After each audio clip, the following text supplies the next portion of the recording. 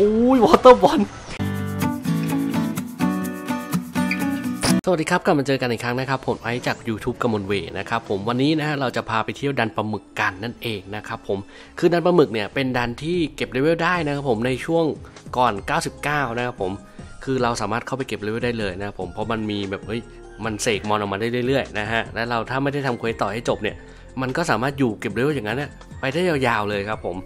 ดังนั้นเดี๋ยววันนี้เราจะพาไปทำเควสนะครับผม ซึ่งเควสจริง ๆของมันเนี่ยก็ไม่ได้ยากอะไรนะครับผมก็เดี๋ยวจะทำให้มันเสร็จแล้วกันนะครับผมส่วนเก็บวงเก็บเวลก็ไว้ที่หลังนะฮะโอเคก่อนอื่นเลยครับไอ้ดันปลาหมึกเนี่ยมันอยู่ในเกาะแมวนะครับผมเกาะแมวเนี่ยไปยังไงใช่ไหมครับผมเกาะแมวเนี่ยคุยกับแมวนะฮะคือแต่ละเมืองเนี่ยส่วนใหญ่จะมีแมวตัวเนี้ยนะครับผมไอ้แมวที่อยู่ข้างๆถุงเนี่ยครับผมกดคุยปุ๊บไปมาแรงโดมาแรงโดไปเลยนะครับไปนะครั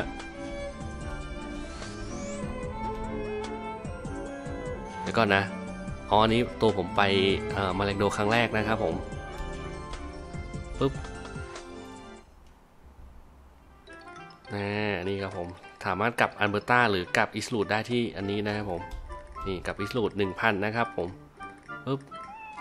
ไปครับก่อนอื่นเลยนะครับผมเราต้องไปซื้อไม้กันปลาหมึกก่อนนะฮะอยู่ที่ตรงแถวๆนี้นะครับ นี่ครับ มันจะอยู่ตรงเนี้ยนะครับผมด้านขวาขวากลางๆ นิดๆนะครับผม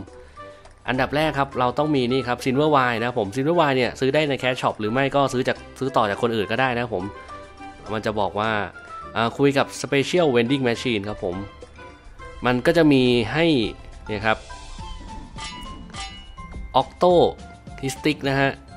มันจะมีแบบ 23 ชั่วโมง 3 วัน 7 วันนะครับผมแบบ 23 ชั่วโมงเนี่ยใช้ซินเวอร์ไว2อันนะครับอ่า3วันนะครับผมใช้ซินเวอร์ไวเท่าไหร่เนี่ย5อันนะครับผม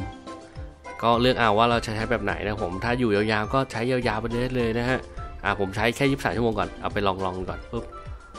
โอเค เรียบร้อยครับ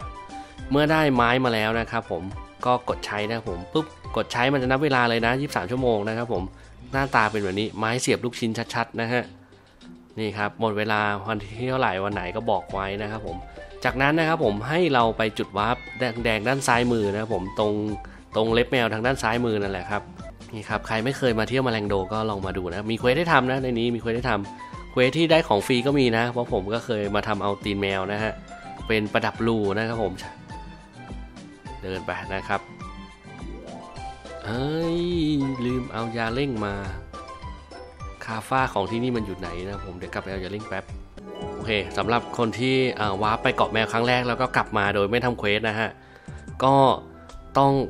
วาร์ปไป Izlude นะครับผมเพื่อไปเกาะแมวทันแทนนะฮะเพราะตอนแรกเราถ้าเข้าไปครั้งแรกเลยอะมันจะมีเควสได้ทำและสามารถเข้าได้ตลอดนะครับผมแต่ถ้าไม่ทำเควสแบบผมเนี่ยก็ต้องมาที่ Izlude นะครับอ่า แล้วถ้าแบบเอ้ยอยากไปทำเควสที่จะเข้าได้ทุกเมืองเนี้ยก็ต้องไปทำเควสข้างในนั้นต่อเองนะครับผมแต่ไม่เป็นไรเดี๋ยวเรามาตรงนี้ก่อนเอาเร็วๆนะฮะคุยกับแมวตัวนี้นะฮะปลุกขึ้นมาคุยนะครับเสียหนึ่งพันไป Malangdo เดินเข้าไปครับปึ๊บปึ๊บปึ๊บเดี๋ยวเราจะไปตีปลาหมึกกันนะครับเข้าไปเลยนี่เข้าไปเข้าไป เข้ามาปุ๊บออกมาทางด้านขวานะครับชึบชึบชึบนี่มีปลาดงปลาดาวด้วยนะฮะนี่ครับขวาบนนะฮะ ตรงนี้นะครับผม คุยกับ Starfish นะครับผม ต้องตั้งปาร์ตี้ก่อนนะทึบตั้งปาร์ตี้เสร็จปุ๊บคุยกับปลาดาวต่อนะครับผม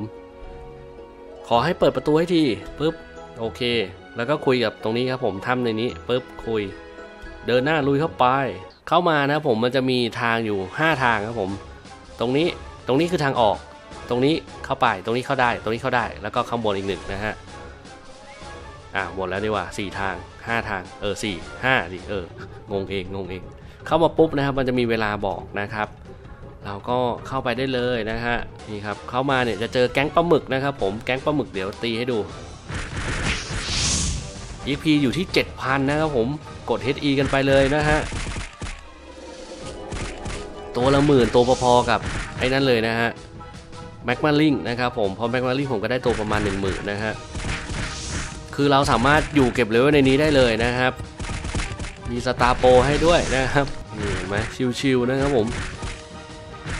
มี EXP ไหลๆนะฮะเดินไปตามทางครับผมจนกว่าจะเจอกับแท่งหนวดนะฮะแท่งหนวดปลาหมึกนะฮะนี่แหละมันจะคอยเรียกสมุนมาเรื่อยๆนะครับผมให้เราเก็บเลเวลนะฮะหรือถ้าแบบเป็นคนทำเควสก็เดินทะลุไปเลยก็ได้ครับผมไม่ต้องฆ่ามอนนะฮะโอเคเดี๋ยวเดี๋ยวนะนี่นี่นี่ต้องตี Octopus Leg ให้ตายนะครับผม ระหว่างที่ตีเนี่ยมันก็จะเรียกลูกน้องมาเรื่อยๆนะฮะเราก็แบบเอ้ยสั่งสอนพวกมัน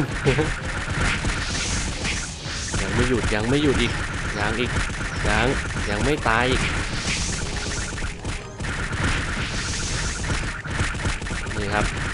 ผมรอบนี้ทำเควสให้ดูเลยนะครับผมว่าทำครบเป็นยังไงนะครับผมโอเคเรียบร้อยนะฮะ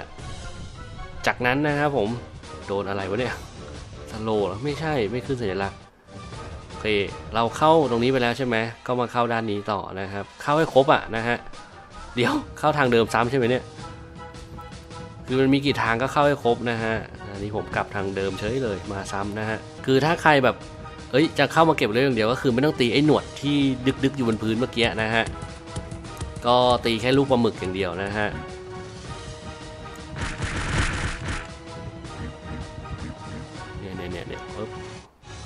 แล้วก็ไปทางด้านไปไหนไปทางไหนก่อนก็ได้นะ ไม่ต้องจำเป็นว่าต้องตามผมนะฮะเควสก็อยากทำเวลก็อยากได้เป็นไงล่ะ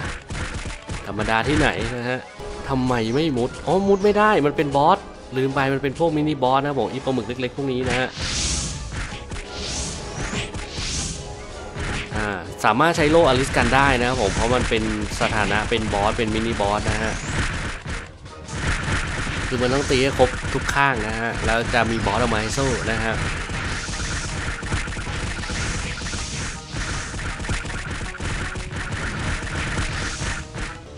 นี่ครับหนวดข้างที่ 3 นะฮะ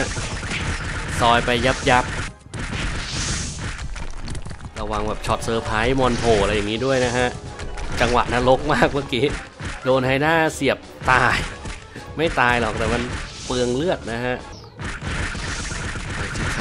ซอยครับครับนี่เห็นปะมันจะเรียกปลาหมึกตัวเล็กๆออกมานะฮะระวังไว้ด้วยนะครับผมตีเพลินๆนี่จะตายเอานะฮะอะเรียบร้อยนะครับ ต่อไปก็เข้าด้านบนนะครับผมชึบอันเนี้ยจะเจอบอสแล้วนะฮะแป๊บแป๊บแป๊บแป๊บโอ้โหพี่แกมีสตอมด้วยเหรอเพิ่งรู้เหมือนกันนะครับเพราะบอสมีตอมกัดนะฮะนี่แหละถ้าเราแบบไม่เน้นตีบอสเราก็ชิวๆครับผม ตีลูกไปเรื่อยๆนะฮะโอ้ย Water Ball เดี๋ยว เกราะน้ำนะเฮ้ย เกรงใจเกราะน้ำผมด้วย ผมก็รู้ว่าพี่คุณพี่มี Water Ball นะผมผมก็เตรียมเกราะน้ำมาแล้วนะฮะ แล้วพี่คุณยัง Water Ball ใส่ผมดอกละพันกว่าได้อีกนะฮะ เราฆ่าไอ้ตัวนี้ก็จบเควสนะครับผมได้ XP ตัวนี้มัน XP 4,000 เอ้ย 40,000 นะครับผม แต่ก็นั่นแหละนะครับชะตากรรมผู้โดนวอเตอร์บอลก็เป็นเช่นนี้แหละนะครับ เลือดตัวนี้อยู่ที่ 5 0 0แสนนะครับ ก็ถ้าเข้ามาก็เข้ามาเสียบมาเลยนะฮะแต่ตัวนี้มันก็เรียกลูกน้องมาเยอะแยะมากมายนะครับผมก็ชะตากรรมเป็นเช่นนี้นะฮะโอเค จะมาดูกันว่าถ้าตายแล้วจะสามารถเข้าไปอีกรอบหนึ่งได้หรือเปล่าเควสมันจะต่อเลยไหมนะฮะคุยเข้าไป เดินหน้าลุยอ่ายังอยู่ยังอยู่นะครับผมเข้าไปก็บวกได้ต่อเลยนะฮะโอ้โหดูครับ เยอะกว่าเดิมใจเย็นพ่อ ไม่อยู่แป๊บเดียวมาเป็นฝูงเลยนี่ครับ เก็บเวลได้นะครับผมแต่ทนพ่อมาได้หรือเปล่าแค่นั้นเองนะตรงครับ ยิ่งอยู่นานมันยิ่งเรียกพวกมาเยอะเยอะขึ้นเรื่อย ๆ นะฮะยังไงซีเราเนี่ยฮะ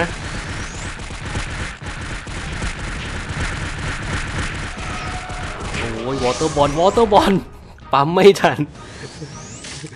พี่แกไม่ขึ้นหลอดไล่ซะหน่อยเหรอ อย่างน้อยๆ ขอให้มุดทันก็ยังดีนะฮะ ไม่ยอมไม่ยอมยังยังไม่ยอมครับยังไม่ยอมนะฮะ มาครับรอบที่ 3 นะฮะ อย่าไปกลัวครับผม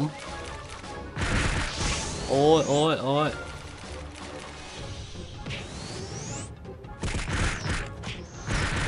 มาครับมาปั๊มปั๊มสู้ปั๊มสู้โอ้ยเว้ยเอ้ยตายตายวะไม่ตายโอ้ยวอเตอร์บอล